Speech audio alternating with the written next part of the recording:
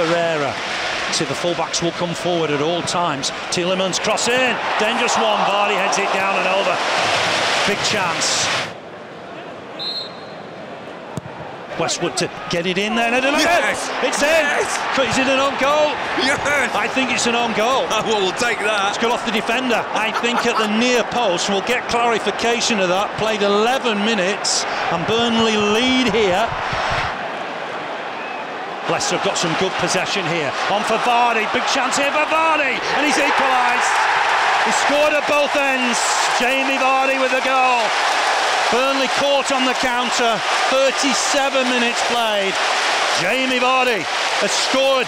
Taken down well here by Westwood. He's looking over the top here for Vydra. He's in the area. Vydra's in the area against Vestergaard, trying to go one way then the other. Gets it in there, looking for Cornet. Oh, what a goal!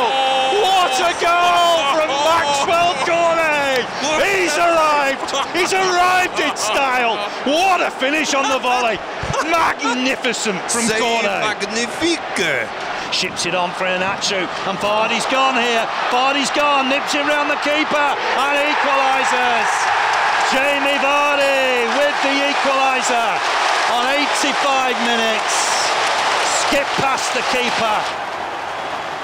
Uses Brownhill, dinks it in Brownhill, flick on from Tarkowski. Barnes, Yes. come on, get Yes. Yes. He Yes. can! Yes. This one Yes. against his former club, and Burnley surely have won it to the end. Easy onside is the question. We are waiting here. Oh, dilemma. What a dilemma right at the end. He's won the header, it's in off the post, and that decision has been made. It's ruled out for offside. How cruel that on Burnley?